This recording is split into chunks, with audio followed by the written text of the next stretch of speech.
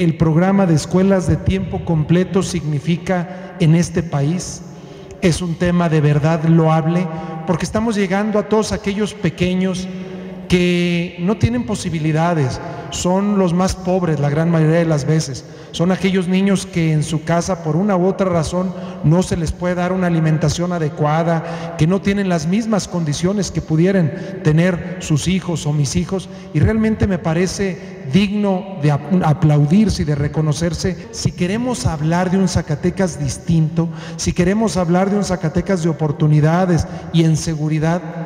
pues tenemos que hablar de educación. Y hablar de educación, por eso yo dije, yo tengo que anclar, tengo que cimentar mi gobierno en un tema de fomento a la educación. Y qué mejor que en los primeros años, que es cuando realmente se genera al individuo, cuando realmente más aprende y se fortalece el carácter de un niño, de un pequeño, de un joven. Y creo que no es justo también traer los meses y meses en espera. Sé perfectamente que es un recurso federal, pero hay que buscar la manera, Gema. Hay que buscar la manera, ya sea puenteando con lo estatal, ya sea haciendo las gestiones extraordinarias, pero tenemos que pagarles en tiempo y forma a todos ellos, porque hacen un gran trabajo y me parece injusto que por él no estén recibiendo a tiempo el pago respectivo y de frente decirle a todos y a cada uno de ustedes que en mi persona tienen un aliado, que este programa lo vamos a continuar, lo vamos a fortalecer, vamos a ver